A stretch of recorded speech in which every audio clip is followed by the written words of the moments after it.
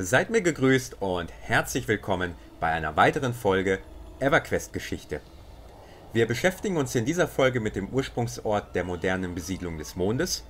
Wir werfen einen Blick auf den Teleportationsreisebahnhof The Nexus sowie dem Verbindungsstück zur Mondoberfläche, dem Never Be in Lair und auf der Oberfläche selbst werden wir den beiden angrenzenden Gebieten Marus Zero und Dawnshroud Peaks einen Besuch abstatten. Der Nexus war nicht sehr groß, hatte aber wahrscheinlich die höchste Konzentration an arkaner Energie, die man nirgendwo sonst auf Norath oder Luklin finden konnte.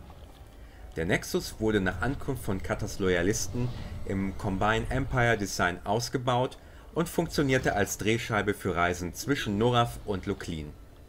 Er lag tief im Mondinneren in der Nähe des Mondkerns auf einer mysteriösen schwarzen Kugel die Hauptkammer war kreisförmig mit einer hohen, bogenförmigen Kuppeldecke.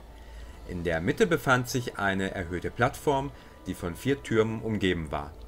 Sie ähnelte denen der in Norath bekannten Portaltürme wie in North Carana, Greater Feydark, Toxulia Forest, Dreadlands oder The Great Divide. Alle Reisenden, die von Norath aus über einen der fünf Nexus-Ableger kamen, landeten hier auf dieser Plattform. Die Böden und Treppen waren aus feinstem Marmor gefertigt und mit wunderschönem Onyx, Silber und Gold verziert. Dieses Erscheinungsbild ließ den Nexus noch wundersamer wirken, als er eh schon war. Vier Tunnel führten jeweils von der Hauptkammer sowohl zu verschiedenen Zielen auf dem Mond, als auch zu einem Teleporter, der die Rückreise zu einem Ziel auf Norath ermöglichte im Westen war der Tunnel eingestürzt und ein Zwerg arbeitete seit jeher fieberhaft daran, den Weg in einen unbekannten Teil des Mondes freizulegen. Nicht weit vom Zwerg entfernt befand sich ein kleiner Satz Türme, die von zwei Zauberern überwacht wurden.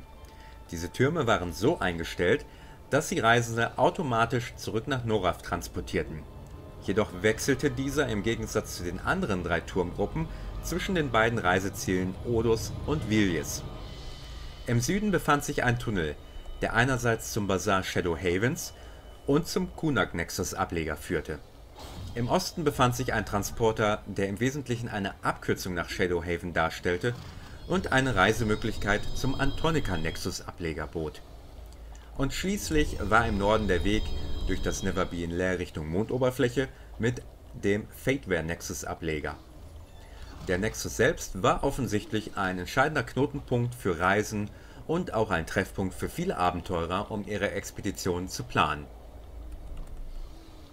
Das Never Be in Lair war der erste Ausbau des Combined Empire, der mit viel Anstrengungen bewältigt wurde, um dem Mondinneren zu entkommen. Später war es hauptsächlich nur noch ein großer Korridor, der von aufwendigen Säulen und Bögen getragen wurde der von Schutt und Geröll bedeckte Boden vermochte dem Ganzen zwar ein unsicheres Erscheinungsbild, doch wurde der Korridor sowohl durch Inquisitionswächter aus Sanctus Zero als auch den Wachen aus Shadow Haven sicher gehalten.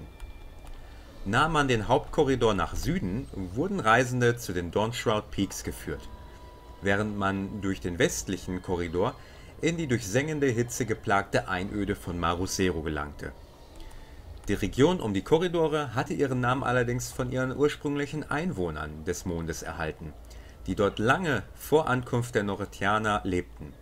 Viele lebten zwar auch noch nach der Ankunft des Combined Empires in diesem Bereich, doch sie versteckten sich in den tieferen Höhlensystemen abseits der Hauptwege und ließen Reisende im Allgemeinen in Ruhe.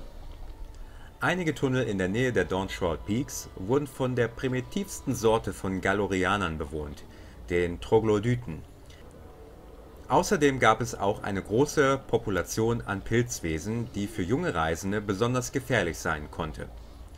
Weitestgehend war das Never Be in Lair aber eine Hauptverkehrsader für Reisende, die von Shadow Haven und The Nexus in die restlichen Gebiete Luklins reisen wollten.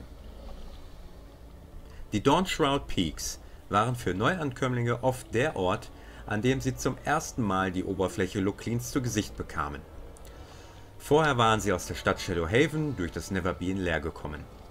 Die sanften Hügel von Dawnshroud waren mit leuchtend grünem Gras und weit verstreuten, schwankenden Bäumen bedeckt. Gelegentlich fanden sich auch Teiche mit kristallklarem Wasser. Im Westen lag Sanctus Zero, die Festung der Inquisitionsbewegung. Mehrere Gruppen verschiedener Mondbewohner hatten rund um Dawnshroud ihre Lager aufgeschlagen. Sie boten im Zustrom der Neuankömmlinge ihre Dienste und Waren an, was sehr lukrativ erschien. Im Osten lag das Gebiet Maiden's Eye in ewiger Dämmerung. Es war das letzte Gebiet, in dem die ursprünglichen Herrscher des Mondes, die Akeva, lebten und ihre Macht ausübten. Im Süden lag ein Eingang zu Greek's End, der Burg des Geomanten Greek Veneficus, mit dessen Wissen es erst möglich geworden war, über Teleportation auf den Mond zu reisen. Nur wenige kehrten jemals von einer Reise in Greek's End zurück.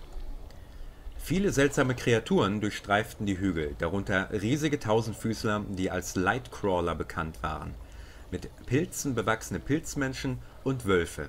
In einem Höhlensystem im Nordosten lebten die Galora, eine Rasse von rothäutigen Höhlenbewohnern. Sie wurden von bösartigen zweifüßigen Reptilien, den sogenannten Rockhoppers, aus ihrer Heimat vertrieben im Südwesten befand sich ein Steingebäude, das für diese Region scheinbar fehl am Platz war.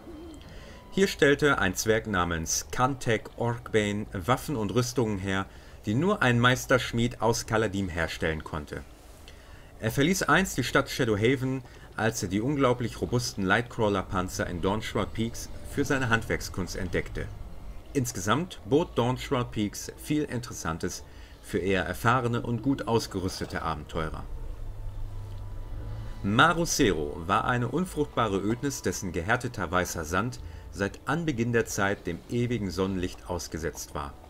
Die meisten Abenteurer wurden bei ihrer Ankunft von diesem Anblick geblendet. Von hier aus musste man sehr weit südlich reisen, um nach Sanctus Sero zu gelangen, der Inquisitionsfestung Serus. Im ganzen Marusero gab es Lager der Recuso-Banditen. Hierbei handelte es sich um Ausgestoßene von Sanctus Sero, die der dortigen Hinrichtung nicht würdig erschienen. Meistens griffen diese Banditen Reisende im blanken Akt des eigenen Überlebens an. Einige wenige suchten stattdessen den Kontakt zu Reisenden und warnten vor den verdrehten Ansichten und dem Kodex, der in Sanctus Zero verbreitet wurde. Das Klima in dieser Region war hart und ehrlich gesagt, es gab auch nicht viel mehr zu sehen als das bisher erwähnte. Marosero war in erster Linie nur ein nützlicher Weg für Abenteurer auf dem Weg zum Srachesa-Tempel